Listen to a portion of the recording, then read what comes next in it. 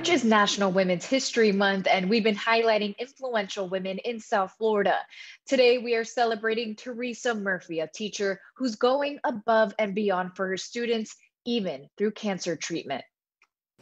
After decades of teaching students in South Florida, Teresa Murphy was named Miami-Dade County's Teacher of the Year doing what you love to do every day and then getting rewarded for it. I mean, what is better than that? The pandemic wasn't the only challenge Murphy was facing during the e learning school year. Months into the summer, Murphy was diagnosed with breast cancer in August. As my hair fell out, the children were not aware of that. They weren't aware that I was sick until January. You guys inspire me every day, and I want you to know that you inspire your teachers. So she used filters to disguise the chemo room from her students. The long chemo sessions didn't stop her from teaching her third grade students at Spanish Lake Elementary in Hialeah. If I was not going to be able to do this without giving them a very minimal amount of disruption, then it would not be fair to them. It would not be fair to the staff at my school if they had to constantly cover me.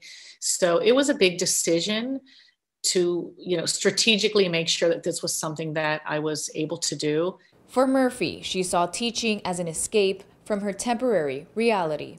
These students gave me so much energy and positivity.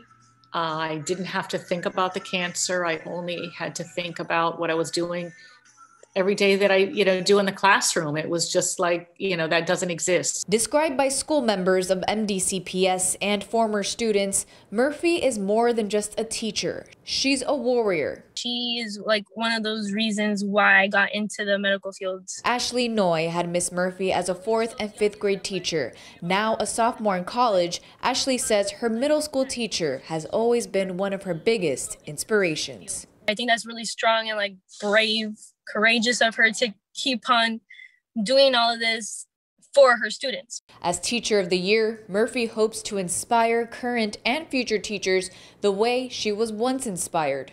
No matter how bad your day is, there is something good that happened that day. It doesn't matter how low you feel, there is something.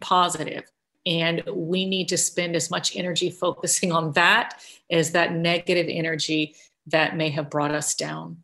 Murphy has touched hundreds, if not thousands, of lives throughout her career. In her three decades, she has taught at seven elementary schools, now teaching at risk third graders at Spanish Lake Elementary. Melissa Marrero, WSFL TV.